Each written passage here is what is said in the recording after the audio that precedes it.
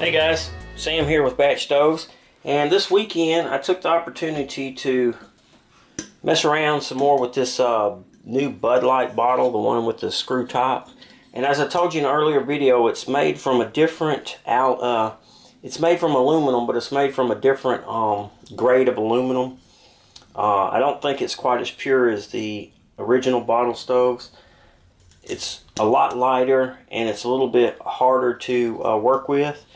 Finally figured out how to work with it and cut it and shape it a little bit better. So I think I got all the bugs figured out with that. So that's a good thing. Another good thing is it's a lot lighter than the original bottle stove. So I think that's a plus for the alcohol stove uh, enthusiast. And for those that like the single wall, single piece uh, stove, I was able to figure that out. It's not really a big deal. It's actually quite easy once I figured out what steps needed to be done to do that. And if you're a fan of those stoves, I'm sure that um, they'll be available in the future as well. They're both uh, both types of stoves are, I think, uh, good stoves. I prefer the two-piece design. It's just my preference. Now, what I did was I, I, I made several stoves with several different uh, jets. Bigger holes, smaller holes, more holes, less holes. A combination of small and big holes. And what I found out is they're all within a minute of each other on boil times.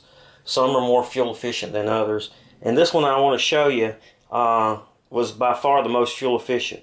So what I've got here is my 10 centimeter cook pot and I've got a 16.9 ounce water bottle here. So a little over two cups. A little over two cups of water. And we're going to be using uh, HEET Gasline antifreeze. And I've got one ounce of HEET. This is just a one ounce fuel bottle. One thing I do, uh,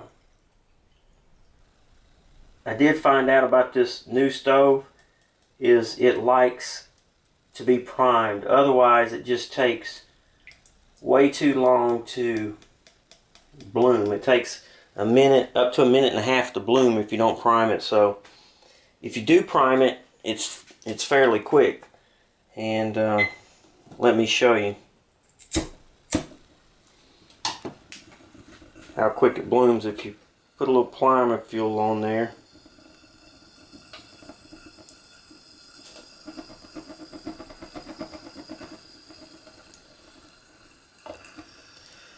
Fairly quick.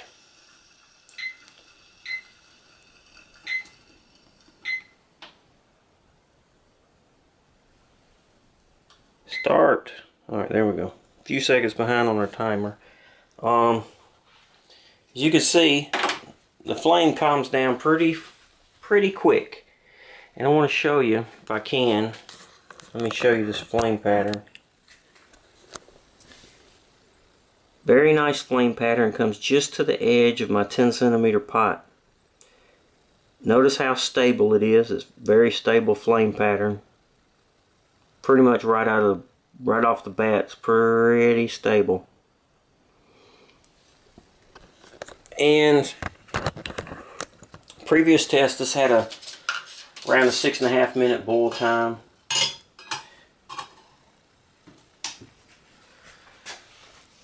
Can you see the, hopefully we can see the thermometer, see the timer here. We're about a minute in.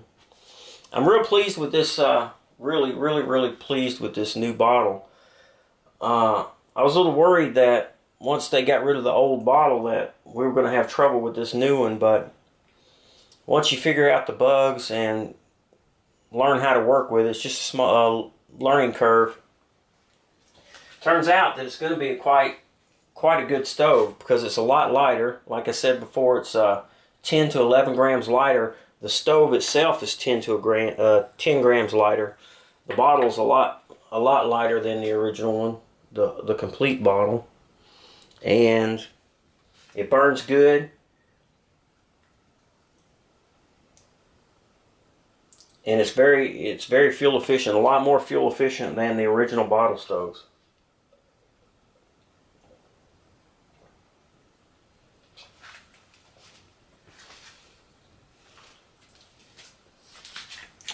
But I played around with different jets. Uh, this one's jetted, uh, very similar to that one. It's basically twice as many holes, and I just staggered them. And it actually gives a real smooth, a real smooth, complete, let me turn the light out. It gives a real smooth, complete flame pattern on the bottom of the stove and that might help with the um, boil times on this stove. There's no mist area where it's not touching the pot. Uh,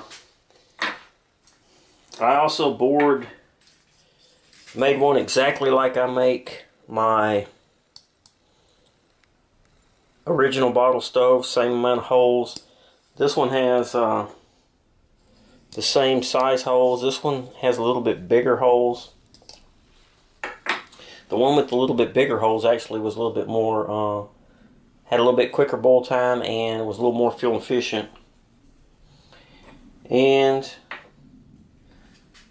I made, I was able to make a single, single piece uh, bottle stove.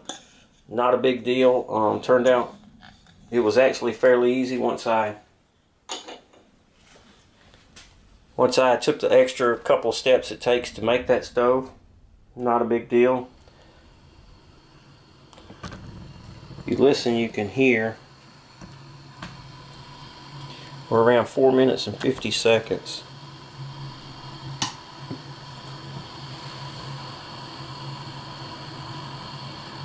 Right at 5 minutes right now. At five minutes, we're at 194 degrees. You know, it always seems to take a little bit longer to get those last few degrees. 530, 529, 530, we're at 203. 204, 206, 208. 545 and this is where we're at 545 and we'll let it go to six minutes. Six minutes and we're at 212 let's blow it out.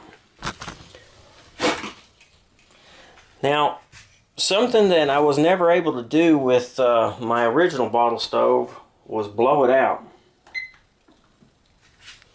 and you saw that was fairly easy. So what I'd like to do is I just want to see how much fuel I can reclaim but um, you can see we're at 210 it got up to 212 and now it's starting to drop down.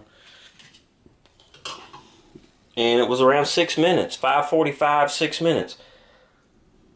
Those are great boil times. Of course it's going to depend on your water temp. Let's see if I can get this pot off of here and then we're going to pour this fuel off and see how much we can reclaim. Now I want to show you how much fuel is actually in here. I don't know if you can see that, but you can see there is quite a bit of fuel left in there.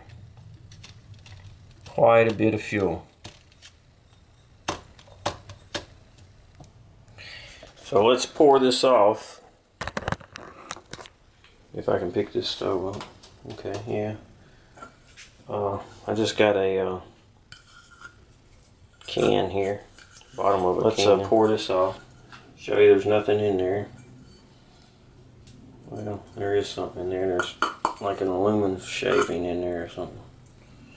Alright, let's pour this off. Of course, you're not going to be able to get all the fuel out of the stove, but we'll get most of it. And, uh,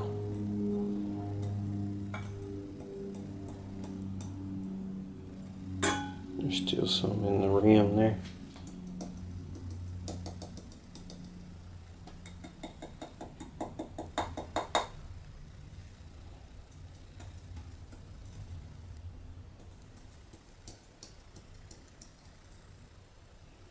I think we got most of it. You can see there's still a little right in the rim there. Well, doesn't want to come out.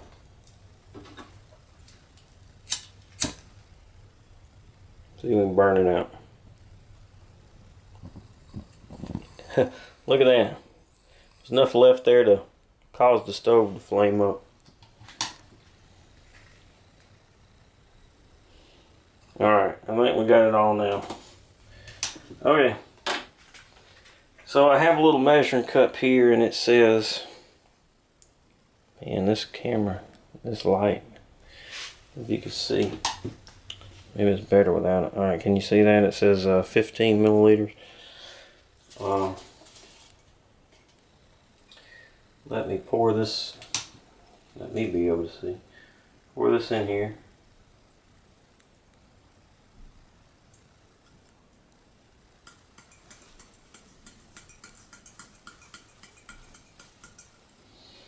So, don't know if you can see that. Let me see if I can zoom in and let you get a look.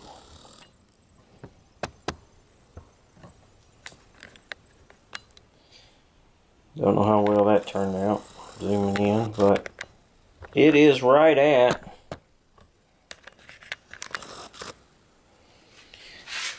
right at actually a little above the 15 milliliter mark. So purity fuel efficient. I reclaimed uh, 15 milliliters. That's a half ounce. Is that right?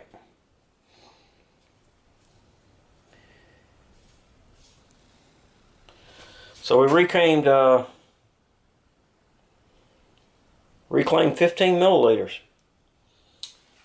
a very fuel efficient uh,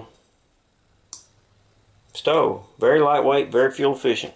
I'm real happy with this stove design and actually um, I think that a lot of people are going to want this stove so I may start offering these stoves right away before the old bottles are even gone. Stoves.